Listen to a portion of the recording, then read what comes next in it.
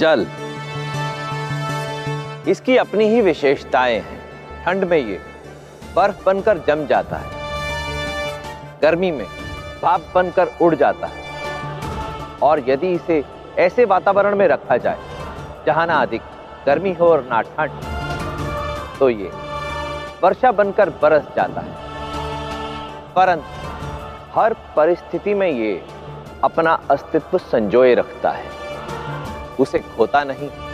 जल के इसी स्वभाव को, हमें राजनीति में सफल होने के लिए अपने व्यक्तित्व में आत्मसात कर लेना चाहिए।